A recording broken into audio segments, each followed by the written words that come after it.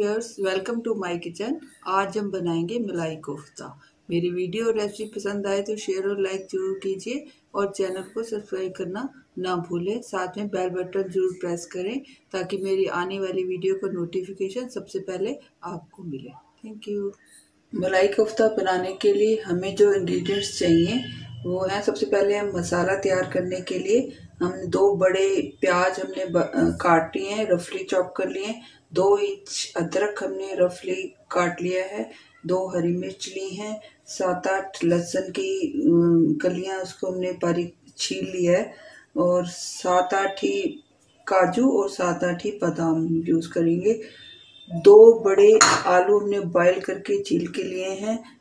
कुछ chopped dry fruits लिए हैं। और दो ही बड़े टमाटर हमने काट लिए रफली मैदा यूज़ करेंगे हम। दो चम्मच हम कोफ्तों में डालेंगे और एक चम्मच हमने एक्स्ट्रा लिया है डस्टिंग के लिए। एक चम्मच कसूरी मेथी ली है। 200 ग्राम हमने पनीर लिया है। आधा छोटे चम्मच हमने जीरा पाउडर लिया है। आधे से थोड़ा कम गरम मसाला। आधा चम्मच धनिया पाउडर।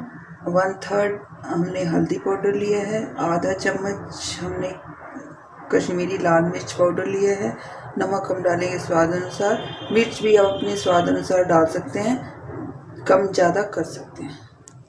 ऑयल यूज़ करेंगे हम फ्राई करने के लिए। एक चम्मच हम मक्खन यूज़ करेंगे। फ्रेश क्रीम भी हम यूज़ करेंगे, पचास साठ ग्राम। पनीर और आलू को हमने एक बड़े बाउल में ग्रेट कर लिया है। अब इसमें हम डालेंगे दो चम्मच मैदा।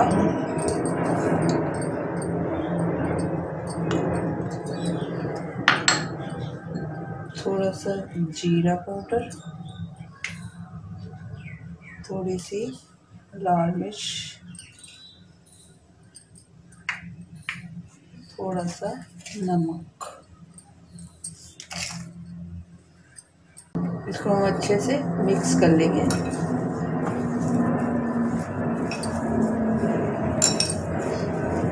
अगर आपको लगे कि ये अभी कोफ्ते अच्छे से बाइंड नहीं हो रहे तो आप और भी मैदा डाल सकते हैं।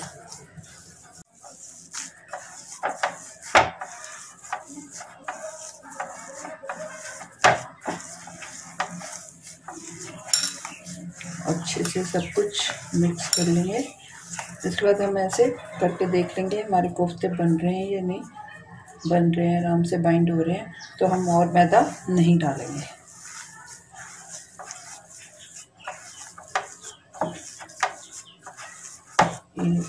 कोफ्ते का मिक्सचर रेडी हो गया।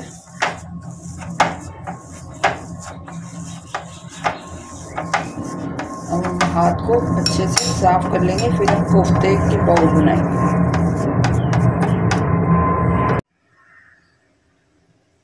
अब हम कोफ्ता बनाना स्टार्ट करेंगे।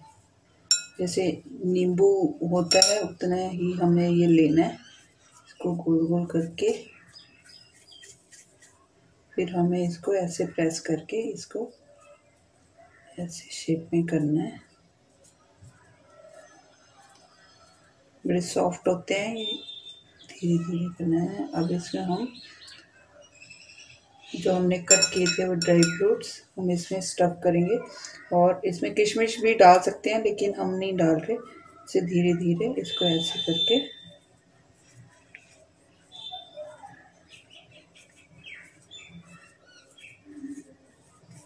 गोल गोल कर देंगे। अब हाथ में हम डस्ट करेंगे मैदा। इसे डस्ट करने से ये फ़ायदा होता है कि जब हम तलेंगे तो हमारे कोफ्ते फटेंगे नहीं।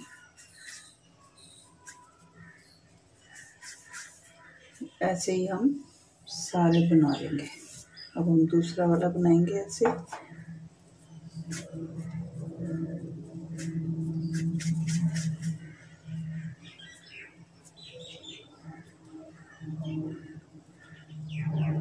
सेहत करेंगे धीरे हल्के हाथों से। स्टफिंग करेंगे। स्टफिंग आपको नहीं भी डालनी तो आप नॉर्मली वैसे बना सकते हैं।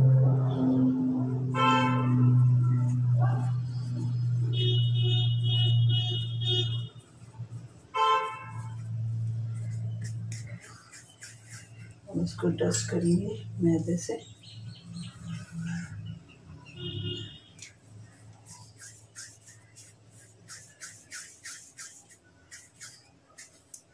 ऐसे ही हम सारे कोफ्ते बना लेंगे।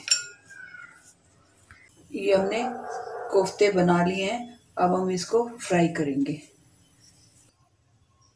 गैस पे हमने ऑयल गरम करने रखा हुआ है, इसमें हम कोफ्ते फ्राई करेंगे। पहले हम इसको अच्छे से गरम कर लेंगे, फिर हम इसको मीडियम लो फ्लेम पे रखेंगे। ऑयल हमारा गरम हो गया है, अब इसमें एक एक करके कोफ्ते फ्राई करेंगे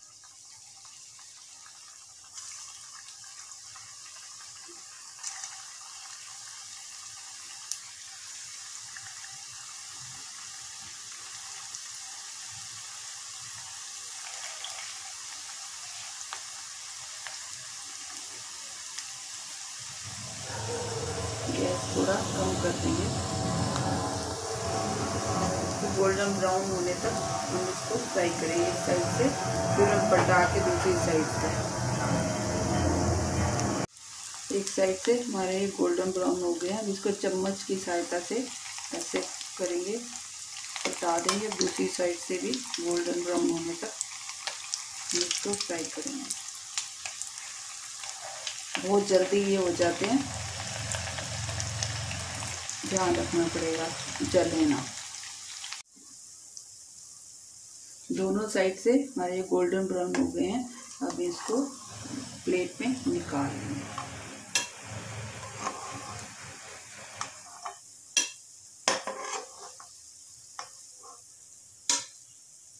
हमारे कोफ्ते बनके रेडी हो गए हैं। अब हम ग्रेवी की तैयारी करेंगे। तो गैस पे हमने पैन रखा है, और इसमें हम डालेंगे मक्खन। मक्खन थोड़ा सा पिघल जाए। मक्खन हमारा पिघल गया तो हम उसमें जो ड्राई फ्रूट्स थे, उसको थोड़ा सा फ्राई कर लेंगे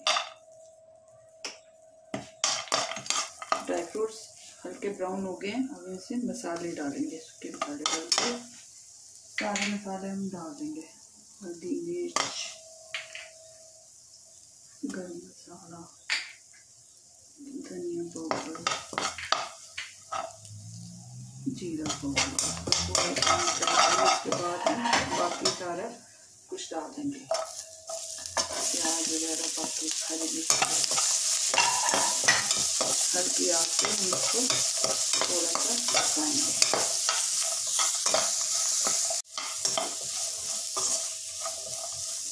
प्याज को हम थोड़ा सा कर लेंगे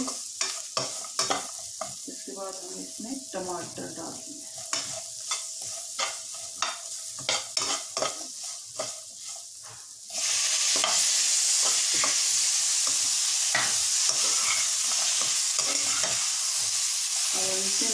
डाल देंगे थोड़ा सा ताकि टमाटर थोड़े से गल जाए।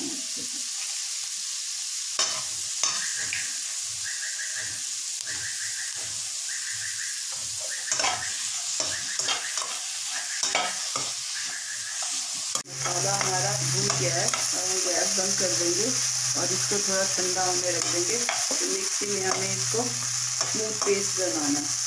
गरम गरम नहीं करेंगे क्योंकि ये उछल के बाहर आ जाएगा ये जलने का डर रहता है थोड़ा सा ठंडा हो जाए। मसाला हमारा ठंडा हो गया है हमें इसको मिक्सी में डाल देंगे मसाला हमने मिक्सी में डाल दिया जार में हम इसको ग्राइंड करके स्मूथ पेस्ट बना लेंगे। हमारा ये पेस्ट बन के रेडी आ गया कंसिस्टेंसी देख लीजिए ऐसे। हमने गैस पे पैन रख दिया, उसमें थोड़ा सा ऑयल डाल दिया हमने तीन चार चम्मच। अब इसको ग्रेवी को उसमें डाल दिया इसको फ्राई करेंगे। अब ये हम इसको मसाले को थोड़ा सा फ्राई करेंगे चार पाँच मिनट तक।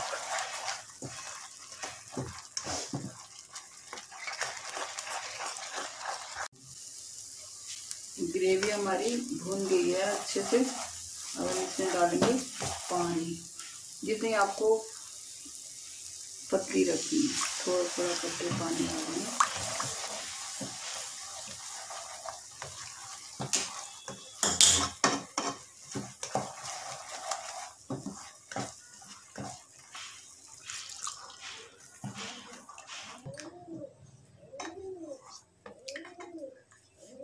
पानी डाल दिया, अब इसको थोड़ा सा उबालेंगे। हमारी ग्रेवी पक के थोड़ी सी थिक हो गई है। अब हम इसमें क्रीम डालेंगे। क्रीम हम डालेंगे तीन चार चम्मच।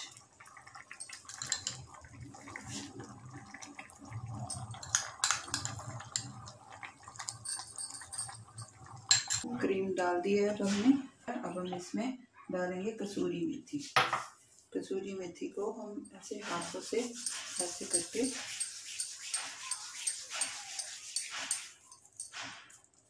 हम इसको मिक्स करेंगे। कसूरी मेथी का बहुत अच्छा फ्लेवर आता है। इसको हम थोड़ा पकाएँगे एक दो मिनट तक। अब हम गैस बंद कर देंगे और इसको थोड़ा सा ठंडा होने के बाद हम कोफ्ते डालेंगे। कोफ्ते हम पकाते नहीं हैं डाल के क्योंकि बहुत सॉफ्ट होते हैं, वो खराब हो जाएँगे फिर। सॉफ्ट सॉफ्ट हाथों से धीरे धीरे इसमें डालना है। ग्रेवी हमारी थोड़ी ठंडी हो गई है, अब हम इसमें कोफ्ते डालेंगे। सॉफ्ट हाथों से उठा उठा के धीरे धीरे क्योंकि ये कोफ्ते बहुत सॉफ्ट होते हैं।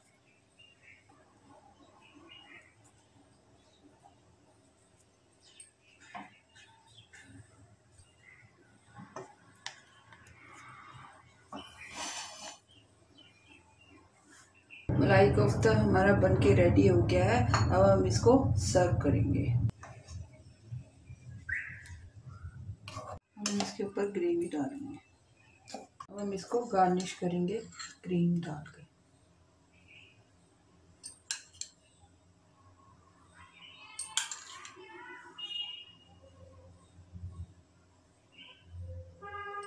मेरा मलाई कोफ्ता बन के रेडी हो गया है। बहुत ही अच्छी खुशबू आ रही है। मेरी वीडियो और रेसिपी पसंद आए तो शेयर और लाइक ज़रूर कीजिए और चैनल को सब्सक्राइब करना ना भूलें। साथ में बेल बटन ज़रूर प्रेस करें ताकि मेरे आने वाली वीडियो को नोटिफिकेशन सबसे पहले आपको मिले। Thank you